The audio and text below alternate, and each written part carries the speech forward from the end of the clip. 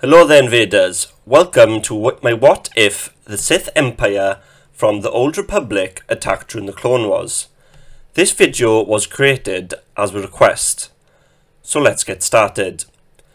The real beginnings of the Sith continue to be an enigma. The Sith line was in truth essentially irrelevant until 3000 years ago when banished Dark Jedi reached Korriban and conquered the Sith under their control and their beliefs. As the years went, the Dark Jedi interwoven with individuals they governed, and in time the name Sith grew a different significance. This mighty society arose increasing quickly, guided by a rising populace of aspiring Dark Force operators. 1,500 years ago, the Sith Society's borders reached the Republic, and the Great Hyperspace War commenced. Although the Sith were winning initially, the Jedi recovered to triumph over the dark side equivalents, thoroughly crushing the Sith Society on Korriban. Unbeknown to the Jedi though, a Sith identified as Lord Vitiate survived to flee the massacre and escaped into deep space with his highly dependable Dark Lords. Lord Vitiate would proclaim himself to be the Emperor, and him and his army established itself on Dromund Kaas. These remaining Sith set up restoring their civilization, eager to at some point come back for vengeance. Across the path of the following 1000 years, the Sith Empire regained its power the emperor created a vast imperial army, an armada of sophisticated combat ships, and carried out dark side rituals which extended his existence and his unchallenged reign. When the moment of revenge came, the Sith started subverting star systems in the Outer Rim, planting seeds of conflict against the Republic, and creating mysterious agreements with regional lawbreakers and military leaders. With all the parts seamlessly in order, the Sith began an immense attack which knocked the Jedi totally by surprise. In the open wave, the Sith achieved taking command of numerous star systems in the Outer Rim, demolishing some of the major Republic hangars and suffocating common trade lanes. Meanwhile, the secret Dark Lord Sidious was not too pleased with the ongoing events as it was a challenge to his own plans to rule the galaxy. He decided to stay hidden for the time being and let his apprentice, Darth Tyranus and General Grievous, deal with both opposition until the ideal moment arises. The Jedi Council had convened to discuss the matters of urgency. Not only did they have to deal with the separatists, now they had the almighty Sith Empire too. The council decided to ask for more clones to be produced on Kamino, and asked the Senate for aid to create a Republic army of civilians to fight alongside the clones. Both requests were permitted. This was sure to be an all-out war. The Sith Empire attacked both Separatist and Republic worlds, taking control of some of them in the process. The galaxy was an all-out war, with three sides against each other. The Republic and Separatists had temporary ceasefire to defend their aligned planets and wage their attacks upon the new settlements and capital ships of the Sith Empire. After years of fighting and devastating loss of life and destruction, news trickled through, finally, of the location of the Sith Empire homeworld, Dromund Kaas, the news has reached the Republic and separatist factions, and they decided to both send out the majority of their forces for an all-out attack of the home world of the Sith Empire. Darth Sidious decided that this is the right time to enter the war, as he thought he could end both the Republic and Sith Empire in one final sweep. Both factions, Republic and Separatist, advanced on towards Dromund Kaas. The Sith Empire positioned their forces in defence of their homeworld, with many capital ships and squadron ships surrounding the planet. On the ground was many forts and ready prepared troops and Sith, protecting important settlements and cities. After continuous days of battle above the atmosphere of the planet, the Republic and Separatists finally managed to make a gap through to reach the planet's surface. The Sith Empire's space forces were weakened but stubborn, so did not make it easy for them, which resulted in only a small number of ships breaking through from both factions every few hours. The Separatist and Republic forces no longer abided by the ceasefire once on the ground, it was every faction for itself. It was a massacre, with bodies lying on the ground everywhere you looked. It made the already grim dark planet seem even grimmer. The Republic slowly captured cities on the south side of the planet, while the Separatists conquered the north cities one by one, until they both, after years of fighting, reached the capital. By this time, the atmosphere above the planet was virtually defenceless, which made a few remaining troops from the Republican Separatist enter the planet with near ease. The final assault is upon us. With all factions' forces very low in number, there seemed more space about the planet than before. That is, if you don't include the rotting corpses and droids nearly covering all areas of the surface of the planet. Though, the capital looked a lot different than the rest of the planet though, as until now, the Sith Empire's competition had never entered the capital city. Don't get me wrong, it was still dark and grim, but it had a bit of beauty to it, structure-wise, like the impressive Sith temple.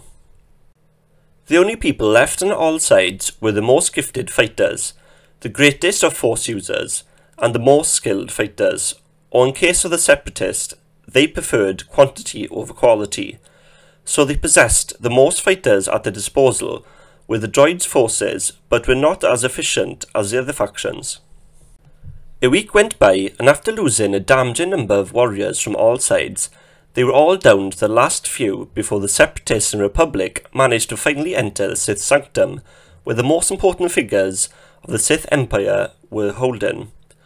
On the Republic side were Yoda, Mace Windu, Obi-Wan Kenobi, Anakin Skywalker, Captain Rex, and Commander Cody, with the Separatists were Sidious, Dooku, General Grievous, Asajj Ventress, a a B-2 battle droid, and IG-100 Magna Guard.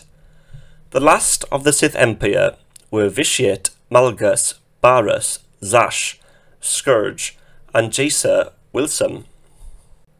Fighting erupts in the Sith Sanctum Grandmaster Yoda battles Darth Sidious and Darth Vitiate. Count Dooku fights Mace Windu and Darth Malgus. Darth Baras is dueling with Obi-Wan Kenobi and General Grievous. Anakin Skywalker is battling Asajj Ventress and Darth Zash. The Droideka is combating Captain Rex and Lord Scourge. Jaesa Willsaam is brawling with Commander Cody and a B2, B2 battle droid and IG-100 Magna Guard. The battle is very intense and none of the combatants are easily defeated. Jaesa Willsaam defeats Commander Cody after Cody had just destroyed the B2 battle droid and IG-100 Magna Guard. Lord Scourge is victorious in his battle, but not before Rex efficiently blows up the droideka. Anakin Skywalker triumphs over Asajj Ventress and Zash. Obi-Wan Kenobi overcomes Baras and Grievous. Mace Windu wins his battle with Dooku and Malgus. In the ultimate showdown between the strongest Force users, Yoda, Sidious and Vitiate, it was very close, with the narrowest of margins. Either one could have triumphed at different points in the battle, but for an inch of a swing of a lightsaber. After the hard-fought contest of the ultimate sheer power, Darth Sidious dispatches Yoda and Vitiate. So the remaining competitors were Darth Sidious, Master Mace Windu, Master Obi-Wan Kenobi, Jedi Knight Anakin Skywalker, Lord Scourge, and Jaesa Willsaam, which means Darth Sidious was sole survivor of the Separatists, The Republic with Master Mace Windu, Master Obi-Wan Kenobi, and Jedi Knight Anakin Skywalker. The two Sith Empire remain were Lord Scourge and Jaesa Willsaam, respectively. They have an all-out brawl, with Team Republic initially overwhelming the other parties. The first to fall is Jaesa Willsaam. Anakin Skywalker push pushes her to the floor, then leaps up in the air and puts his lightsaber through her stomach. In an act of pure rage, Lord Scourge ferociously batters his lightsaber against Anakin's until Anakin loses his grip and the lightsaber gets hit out of his hand. Scourge isn't playing around and slices both of Anakin's arms off, then chops off his head. Obi-Wan, clearly distraught due to the death of his Padawan, pauses for a second. But he is used to people close to him dying in battle. Now is not the time to grieve and lose control, thought Obi-Wan. The light side will guide me.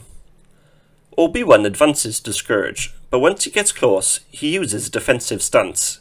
He waits for him to attack, and he does, still full of rage. Obi-Wan blocks all of Scourge's vicious strikes with ease. He dodges and evades, until eventually he sees an opening to strike. In a calm manner, cuts off two of Scourge's arms, then stabs him. Then says, How do you like it? So uncivilized. Ha ha ha ha ha!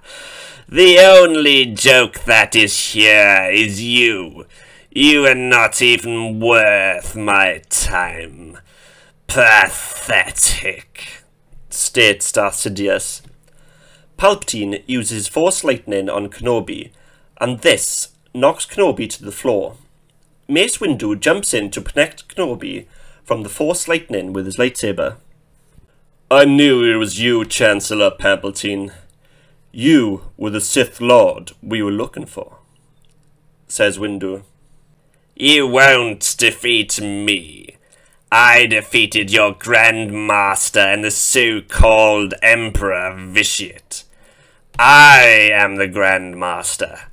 I am the only Emperor of the galaxy, says Sidious.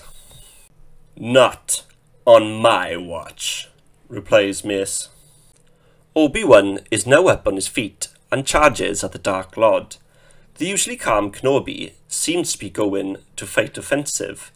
This is a mistake, as he, Sidious, ignites his lightsaber and with cat-like speed pokes his lightsaber through his chest and laughs maniacally. you should not have done that, says an angry Windu. Mace channels the dark side to use against Palpatine with his ability Vaapad. He swings his lightsaber like a bat, knocking Sidious's Force Lightning back at him. Sidious is dazed and weak, but uses his lightsaber to fight off Windu's strikes for a while till he can't no more. Mace's ability is too much, possibly due to the immense power of the dark side he himself possesses, as Mace's ability absorbs the dark side attacks and pushes it right back against him. Mace spins around and catches Sidious off guard and places his lightsaber right through his chest. Looks like an early retirement, Emperor Palpatine. The defeated Darth Lord looks at Windu with disgust and bewilderment. Windu says, It's over. In truth, is it really over though? Darth Sidious and Darth Vitiate are known for their extreme power and immortality. Who knows if they are really truly gone? This was my What If the Sith Empire Attack during the Clone Wars video hope you enjoyed. As an Amazon affiliate, I earn commission from purchases. If you like this, I recommend the book The Old Republic Deceived. It is currently going for £6.54 on mass market paperback, $3.99 on Kindle, or you can get it with a one month subscription with Audible. Audible currently do a one month free trial. All links are down below in the description. Like and subscribe. Until the next time, on Star Wars Invader.